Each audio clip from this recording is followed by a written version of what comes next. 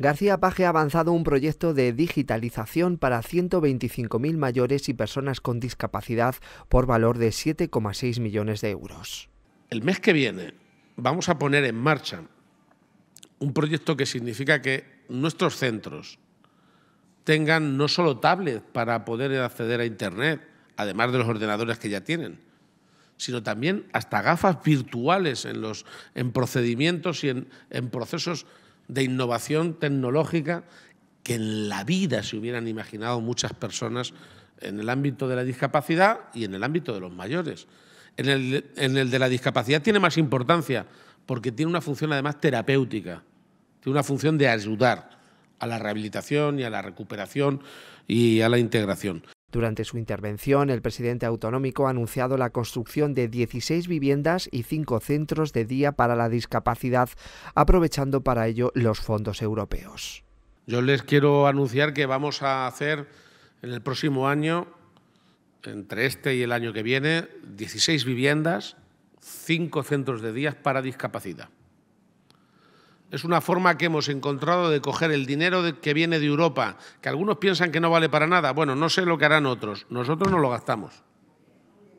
Y bien. También ha avanzado que Castilla-La Mancha será la primera región que permita tener el certificado de discapacidad en el móvil. En todo caso, vamos a ser el mes que viene la primera, la única región en España que permita tener ese certificado en el móvil.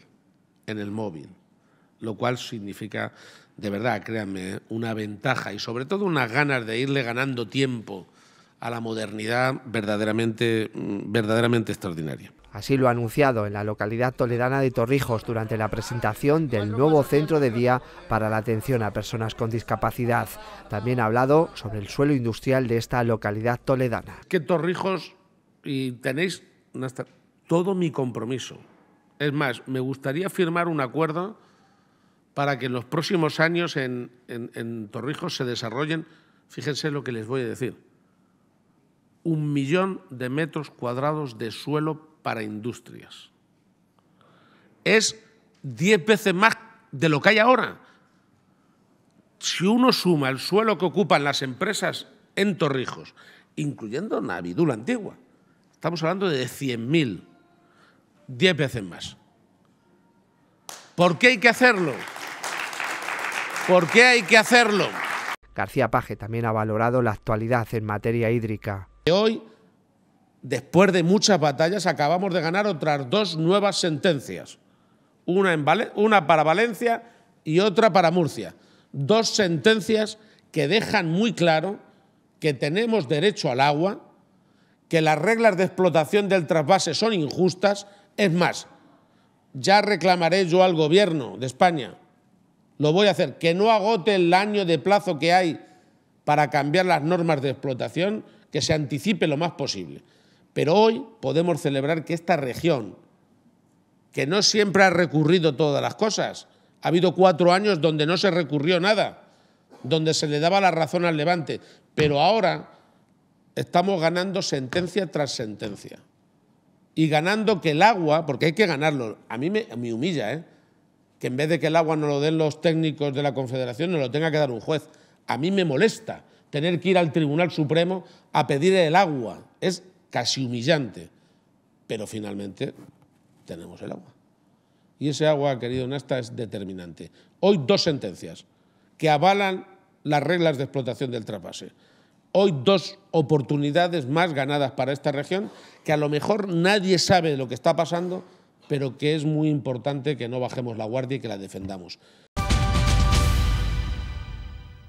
El presidente de Castilla-La Mancha ha visitado el nuevo TAC del Centro de Especialidades Diagnóstico y Tratamiento de Torrijos. En esa, en esa línea pues, se ha aumentado los días que la especialidad de ginecología y obstetricia viene al, al, CDT de Torrijos, también eh, la neurología que empezó en octubre y ahora en, los próximos, en las próximas semanas empezará la especialidad de dermatología. Este nuevo equipo ha comenzado a realizar estudios sin contraste el pasado 29 de diciembre, mientras que el 27 de enero comenzaron a realizarse con contraste.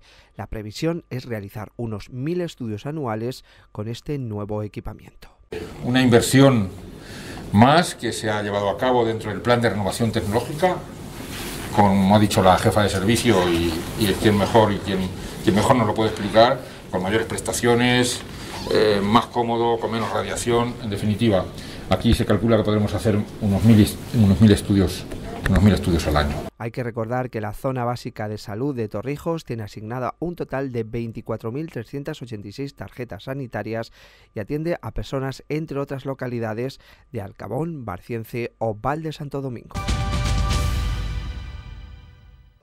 Con la colocación de la primera piedra de la residencia de mayores de Mejorada, comienza este proyecto que beneficiará a los vecinos de este municipio toledano, atendiendo así a la demanda de plazas asistenciales para mayores en todo el entorno de la comarca de la Sierra de San Vicente.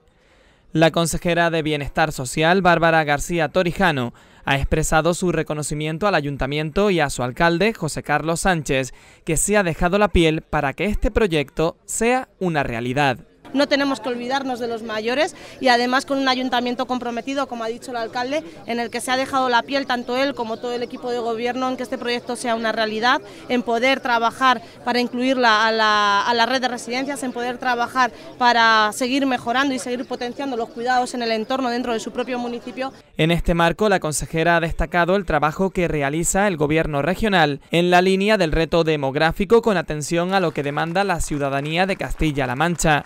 Entendemos y sabemos que tanto los ciudadanos de Castilla-La Mancha como el Gobierno de Castilla-La Mancha vamos en la misma dirección, intentando proporcionar recursos y servicios a los ciudadanos para que puedan tener todas las atenciones eh, bueno, pues a su alcance dentro de los entornos más rurales. La residencia se levantará sobre un terreno de 5.400 metros cuadrados y contará con un presupuesto de 3,5 millones de euros. El proyecto prevé la construcción de un edificio de tres plantas, dos de ellas sobre rasante, que tendrá una superficie construida de 3.800 metros cuadrados para un total de 58 plazas que estarán repartidas en 44 habitaciones, 14 dobles y 30 individuales junto al presidente regional y la consejera, han estado presentes en la colocación de la primera piedra de la futura residencia el presidente de la Diputación de Toledo, Álvaro Gutiérrez, la directora general de mayores, Alba Rodríguez, el delegado de la Junta, Javier Úbeda, y el delegado provincial de Bienestar Social, Maximiliano Muñoz. Esta infraestructura será posible gracias a la generosidad de una mujer del pueblo, Brígida Gómez Martín, que ha donado el terreno sobre el que se edificará la residencia. En agradecimiento a este gesto altruista, el presidente y el alcalde, en nombre de su pueblo, le han entregado un ramo de flores por su contribución a que el proyecto se haga realidad.